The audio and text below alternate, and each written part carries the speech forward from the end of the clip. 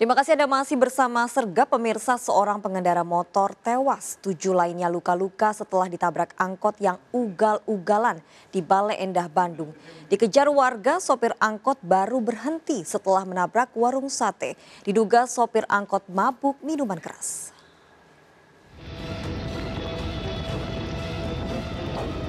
Dalam rekaman video amatir, sejumlah pengendara motor berusaha menghentikan sebuah angkot jurusan Cibadiut Cangkuang yang kabur setelah menabrak seorang pengendara motor hingga tewas.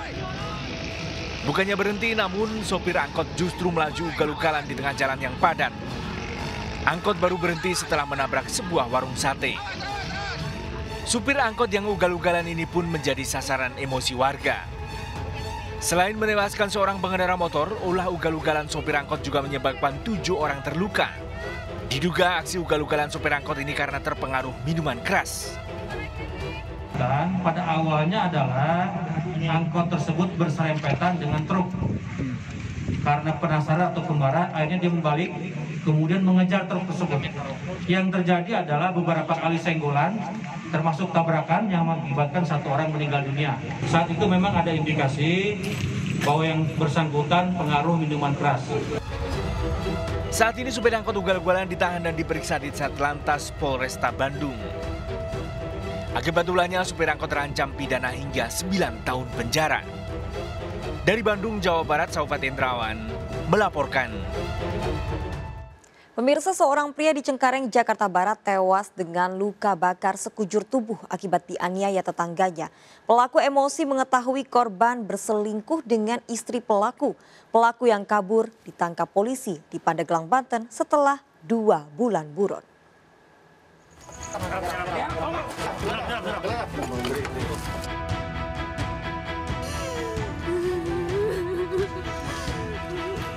Dua bulan buron polisi akhirnya berhasil menangkap Rohman, pelaku penganiayaan hingga menewaskan Mulyono tetangganya di Jalan Bangun Nusa Cengkareng, Jakarta Barat. Pelaku ditangkap di rumahnya di Cibaliung, Pandeglang, Banten. telah melakukan penangkapan terhadap pelaku DPO penganiayaan yang menyebabkan korban meninggal dunia dengan cara dibakar atau pembakaran. Saat ini pelaku sedang kami amankan dan akan kami kembangkan untuk pencarian barang bukti dan motif pelaku melakukan tindak pidana. Mulyono tewas setelah dua pekan dirawat di rumah sakit akibat luka bakar di sekujur tubuh. Ironis, penganiayaan yang menewaskan bapak empat anak ini dipicu dugaan perselingkuhan.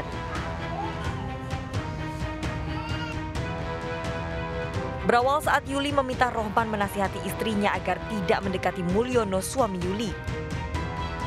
Diduga pelaku jengkel kemudian menunggu Mulyono pulang kerja dan menyiramkan cairan yang mudah terbakar. Yuli yang akan menolong suaminya ikut mengalami luka bakar di tangan. Kepada polisi, tersangka Rohman mengaku nekat menghabisi korban lantaran kesal mengetahui korban berselingkuh dengan istrinya. Dari tangan tersangka disita botol berisi thinner yang mudah terbakar, korek api dan pakaian korban yang terbakar. tersangka eh, mengetahui bahwa istrinya selingkuh dengan korban menurut keterangan dari istri korban. Kemudian tersangka yang baru pulang kerja pada saat itu merasa emosi sehingga menunggu si suami atau istrinya dari suami dari apa istrinya pelaku Kenapa kamu emosi? Karena saya tahu bahwa dia selingkuh sama istri saya. Istri korban berharap pelaku diganjar hukuman setimpal. biarpun berapa bulan saya mah harus pelaku harus dapat saya mah keluarga saya semuanya pada nggak setuju pelaku harus dapat aja pada nggak seneng hati mbak pada sakit hati mbak Pelaku yang ditahan di Mapores Jakarta Barat terancam 15 tahun penjara. Dari Jakarta, Miftahul Gani melaporkan. Seorang wanita ditemukan tewas di rumah kos elit kota Makassar, Sulawesi Selatan. Keluarga mendobrak pintu kamar dan mendapati korban tergeletak di tempat tidur.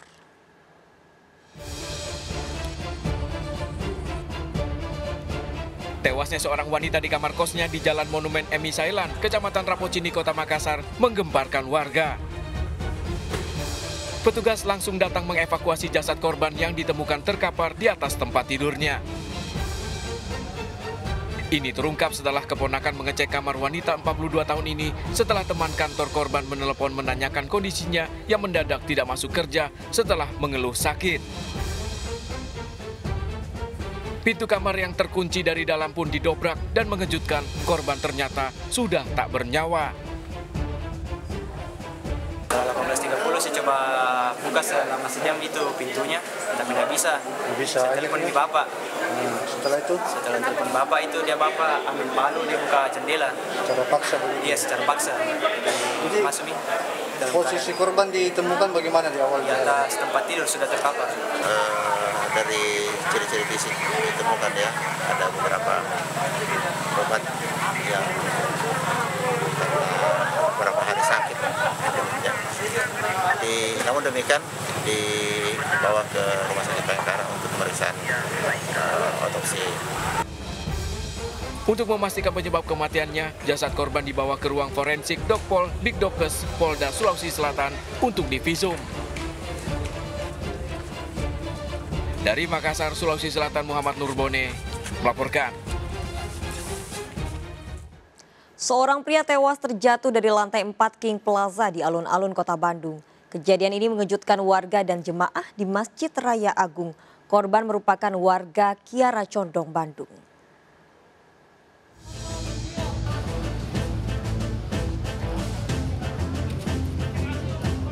Seorang pria tanpa identitas ditemukan tewas usai terjatuh dari lantai 4 King Plaza kawasan alun-alun kota Bandung, Jawa Barat.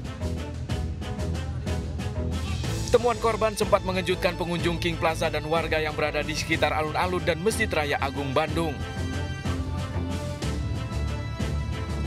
Dari keterangan polisi usai olah TKP, korban ditemukan warga setelah terdengar suara keras benda terjatuh.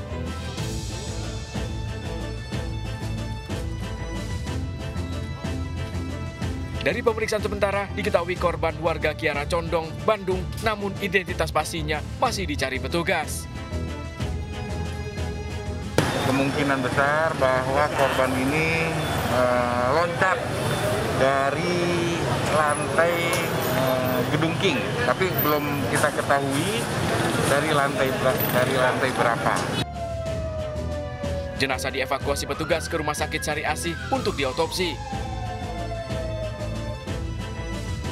Polisi masih melakukan penyelidikan dari kasus dugaan bunuh diri ini. Dari Bandung, Jawa Barat, Jupita Melana melaporkan. Mobil yang ditumpangi rombongan wisatawan asal Tasikmalaya jatuh ke jurang sedalam 7 meter di Ciamis, Jawa Barat. Diduga karena remblong, pengemudi hilang kendali saat melewati tanjakan. dia tolong karena grup lemburga dia di Cibogo Belasan penumpang bus berteriak meminta tolong setelah bus yang ditumpanginya terjatuh ke jurang sedalam 7 meter di Dusun Cibodas, Ciamis, Jawa Barat.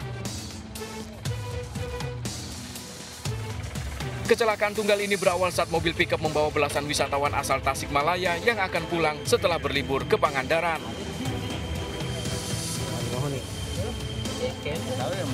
Lalu lintas jalan macet membuat pengemudi mencoba jalan pintas ke jalan Dharma Caang. Naas setiba di tanjakan Cibogo, diduga mobil mengalami remblong dan melaju tak terkendali hingga terjun ke jurang.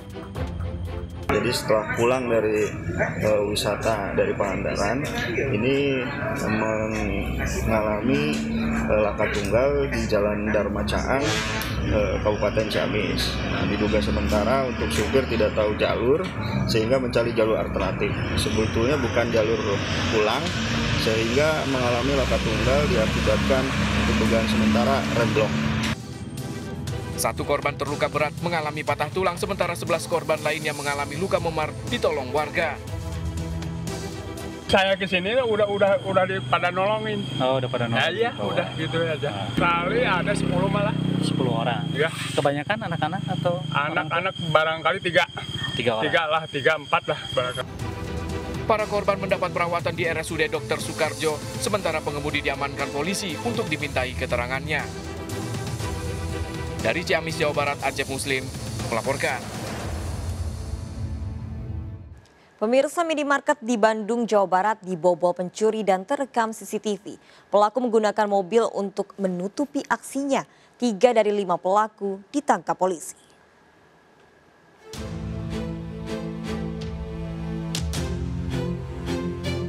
Aksi perampokan minimarket di kawasan Cicalengka, Kabupaten Bandung ini terekam CCTV pada dini hari. Komplotan pelaku diketahui beraksi lintas wilayah, mulai dari Bekasi, Cimahi, hingga ke Jawa Tengah, menggunakan mobil untuk menutupi aksinya membobol minimarket. Tiga dari lima pelaku terpaksa dilumpuhkan karena melawan saat penangkapan. Dari pemeriksaan pelaku mengakui telah beraksi di 10 TKP, hasil terbesar yang digasak adalah 80 juta rupiah dari salah satu berangkas minimarket. Lima orang ini berperan masing-masing, ada yang mencongkel, ada yang lewat belakang, kemudian ada yang mengeksekusi mengambil barang-barang di dalam, ada juga yang spesialis membongkar berangkas. Nah, di salah satu tempat mereka berhasil membongkar berangkas dengan kurang lebih uang 80 juta. Sejumlah barang bukti disita petugas di antaranya gunting gembok, palu besar, hingga senjata airsoft gun. Para pelaku masih menjalani pemeriksaan untuk penyidikan lebih lanjut. Dari Bandung, Jawa Barat, Sofat Endrawan melaporkan. Polsek Koja Jakarta Utara meringkus komplotan pelaku penipuan dengan modus hipnotis. Pelaku melancarkan aksi dengan berpura-pura menanyakan alamat dan menawarkan ilmu kebal para korban. Aksi pelaku terungkap setelah korban sadar. Aksi kawanan pelaku terekam CCTV.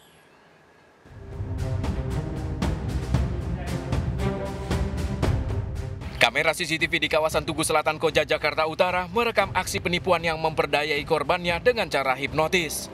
Korban sempat menuruti permintaan pelaku berjalan menjauh usai menguras isi dompet, handphone, serta menyerahkan motornya kepada pelaku. Korban yang tersadar berhasil menangkap satu pelaku dibantu warga. Dari pemeriksaan polisi menangkap satu pelaku lain tak jauh dari lokasi kejadian dan mengamankan motor korban. Diduga kawanan pelaku kerap melancarkan aksinya dengan cara berpindah-pindah tempat. Dia dari Jawa Tengah. Dan ini pun juga si pelaku tadi ini berdiam di Jawa Tengah. Ya kan, keluarganya ada di sana. Pasal dan ancamannya pasal 378 KWP. Empat tahun. Sehat. Polisi masih memeriksa dua pelaku berinisial RP alias Alex dan IA. Selain itu, dua pelaku lain yang telah diketahui identitasnya dalam perburuan polisi. Dari Jakarta, Tim Liputan melaporkan. Pasangan suami istri di Depok, Jawa Barat menggasak tiga handphone dan dompet tetangganya. Pelaku yang tertangkap diarak warga. CCTV merekam aksi pelaku wanita saat memasuki rumah tetangganya di Depok, Jawa Barat. Tiga handphone dan dompet berisi uang hampir 300 ribu rupiah digasak pelaku. Warga yang geram membawa pelaku dengan cara diarak ke Mapolsek Cimanggis. Pelaku merupakan pendatang dan mengontrak tak jauh dari rumah korban.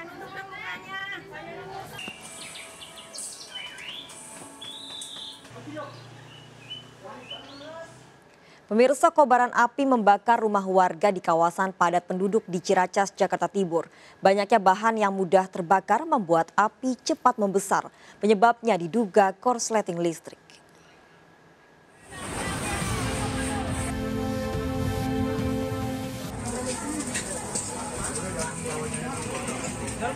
Kobaran api yang disertai dengan kepulan asap hitam membakar rumah warga di Jalan Dahlia, Kelapa Dua Wetan, Ciracas, Jakarta Timur. Besarnya api membuat warga panik.